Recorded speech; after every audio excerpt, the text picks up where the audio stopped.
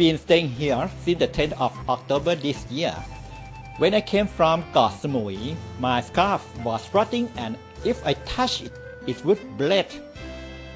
I have a sore behind my ear that was swollen and pussy. I've been taking the monk's medicine for over a month and now the sore is drying and getting better. Before it was so big that when I looked straight at the mirror, I could not see my ear.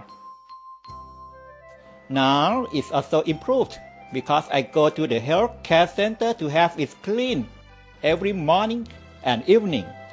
Living here, I help out looking after the flowers and vegetable gardens.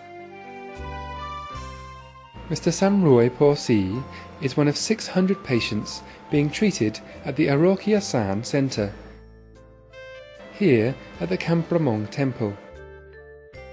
Established in 2004 by a monk named Prat Papunpat, Arokia San is a natural treatment center for patients in the last stages of cancer. The patients are surrounded by nature and their family members and are treated with various methods depending on both their fitness and their wishes. Every morning, each patient starts the new day with hope, exercising, chanting, dedicating food to the monks, listening to talks about Dharma and compassion, and praying in order to give merit to others. During the day, Dharma talks and light music are broadcasted to help the patients change their attitude towards this dreadful disease.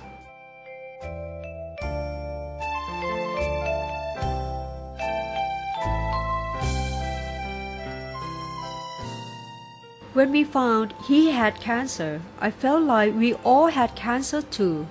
We couldn't accept it and we cried all the time. After his surgery, we were still stressed, but living here, we felt better. Now we understand whether you have cancer or not, if your time comes, you will die. Understanding this has helped our family to feel better. Whatever happens, will happen.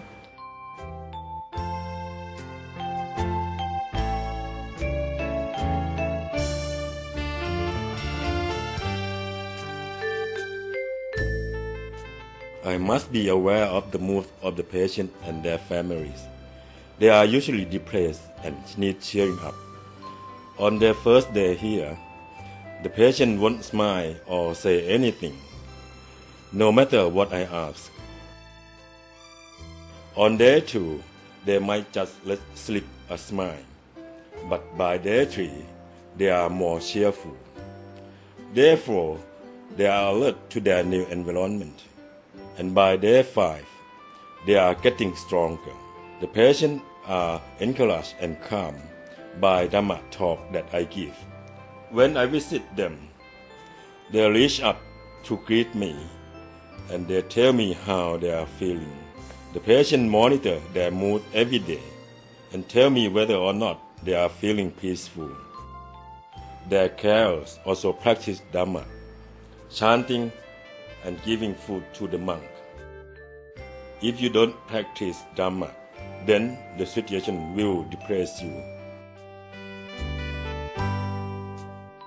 Late in the morning, Prat Praponpat visits and gives medicines to the patients according to their different symptoms.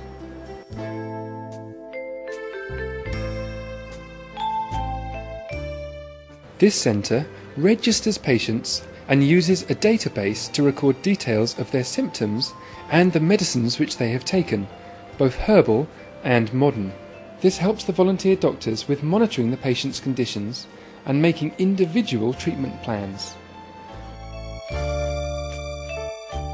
Living here, every patient must boil their own herbal medicine to drink each day. This process has spiritual significance because it confers a blessing on the person who does it.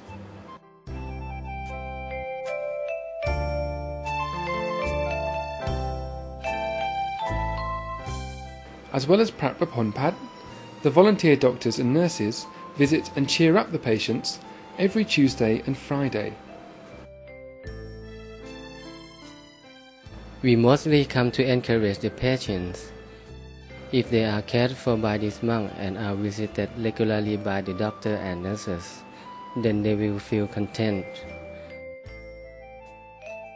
We try to heal them emotionally as well as physically.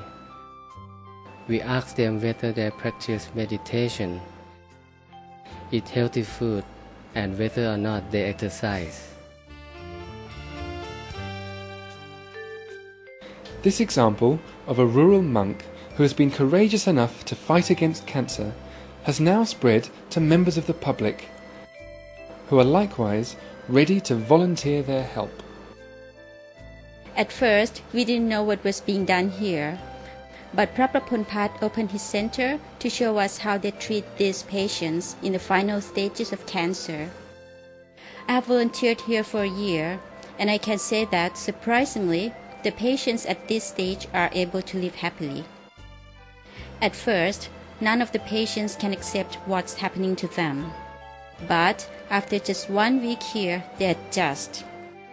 Looking at them, you wouldn't know that the people here are cancer patients. It's a miracle.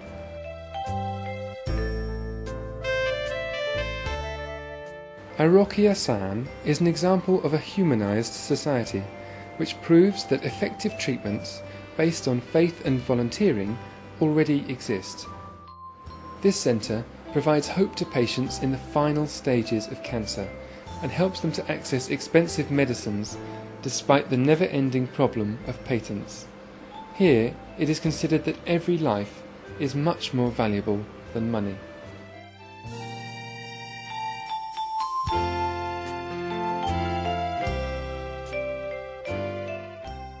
I would like to give a message to everyone.